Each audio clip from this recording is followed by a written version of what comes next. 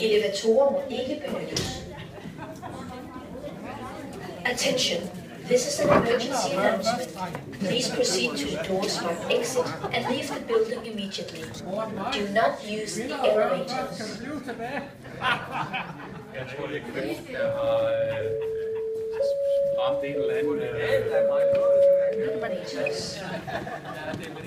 Oven, der er